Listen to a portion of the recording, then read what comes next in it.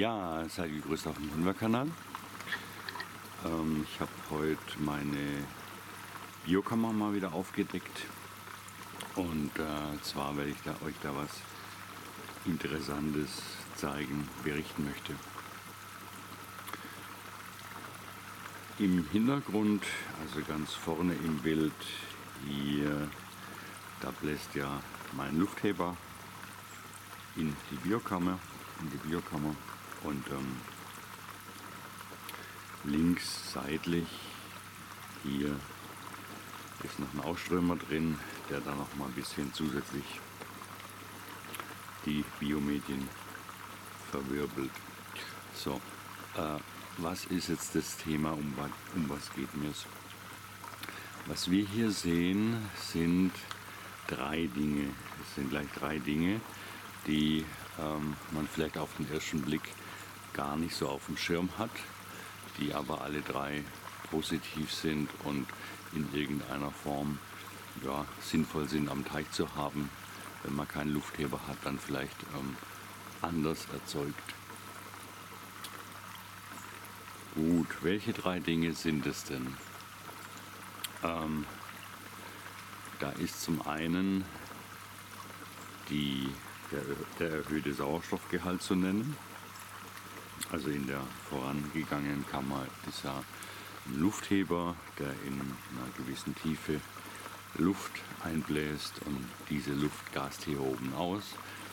Das heißt, wir haben ein bisschen Druck, wir haben eine gewisse Luftmenge, die will wieder raus. Das macht sie hier auch schön, aber das Wasser hat, ist natürlich ein bisschen angereichert, nicht extrem, aber ein bisschen mehr als das restliche Wasser. Und deshalb tut jetzt hier ähm, in den Blasen, die man hier sieht, ähm, gast ein bisschen mehr Sauerstoff aus als im restlichen Teichwasser. Also wenn ich das nachmesse, habe ich jetzt hier, sagen wir hier hinten, immer noch so ungefähr ein Milligramm in etwa mehr Sauerstoff als im Teich. Ähm, was hat es damit auf sich? Das ist recht einfach. Die ähm, Biomädchen, die sich hier bewegen in der Kammer, die sind zwar lebensfähig mit einem sehr geringen Sauerstoffgehalt, also so 2 Milligramm pro Liter geht bei denen schon noch, da sind sie nicht mausetot. Vorher sind die Fische mausetot. Aber diese 2 Milligramm pro Liter sind natürlich kein Wohlfühlbereich. Das ist kein Bereich, wo die jetzt ähm, sehr gut nitrifizieren und an ihr Maximum sind, sondern da ist es da, wo sie dann langsam so Richtung äh, ums Überleben kämpfen. Das ist hier jetzt nicht das Thema. Es geht um was anderes.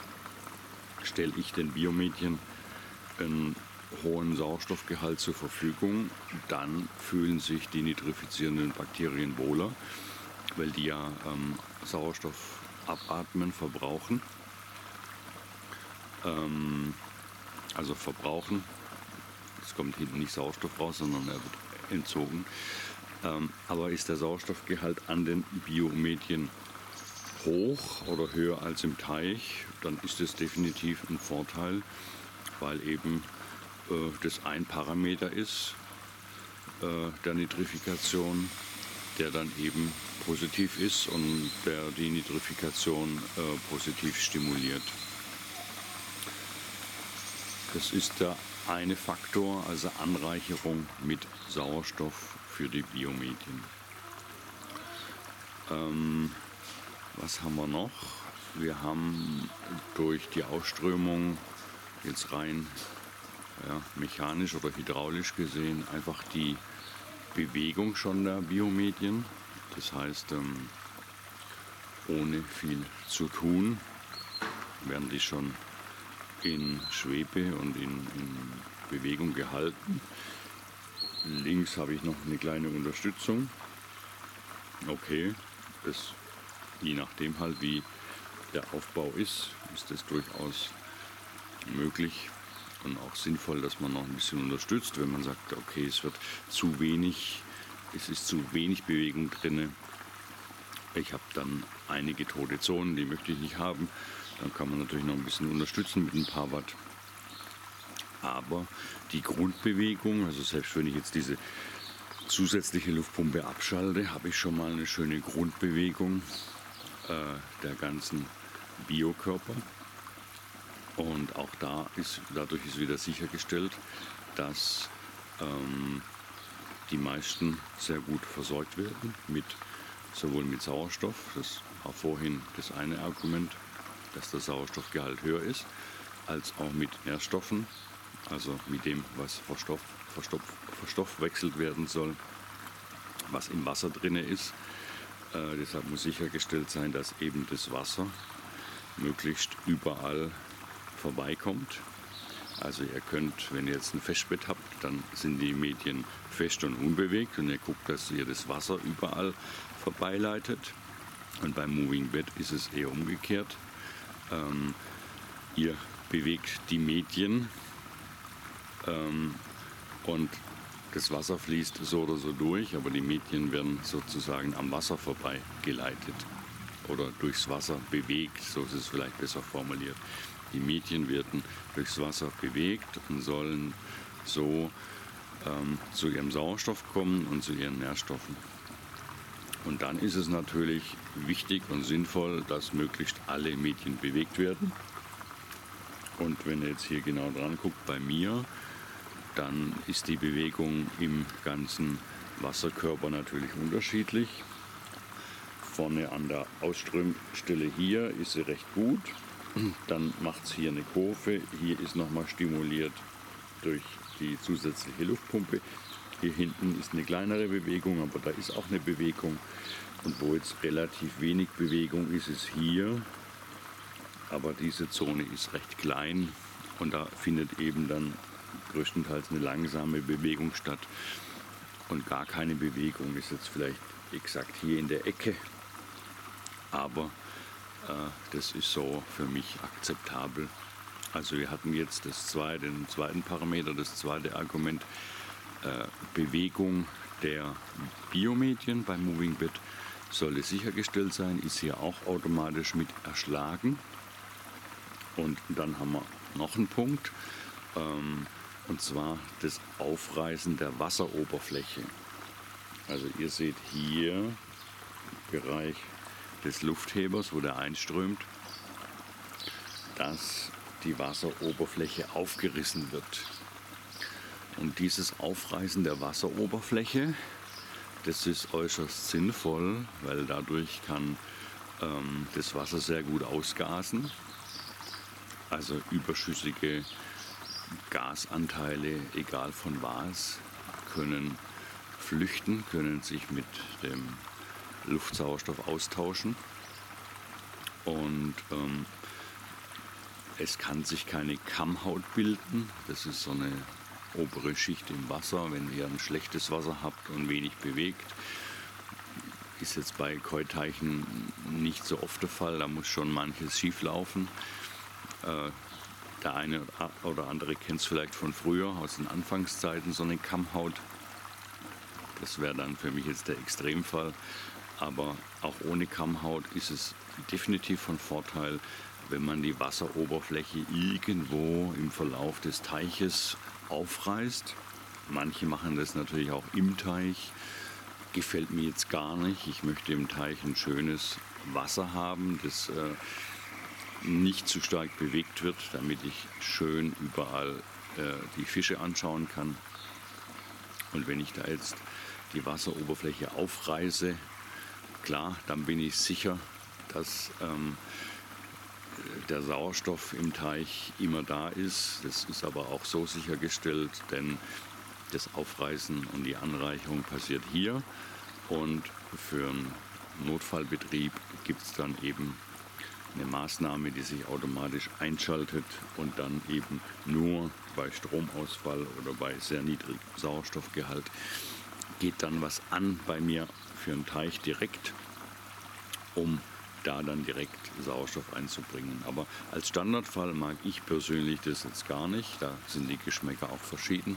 Der eine macht es, steht drauf, der andere sagt, ah, das ist ja grässlich, gefällt mir gar nicht, was ist das für ein Mist. dafür möchte ich mir keine Koi halten, wenn ich sie dann äh, teilweise nicht richtig sehe.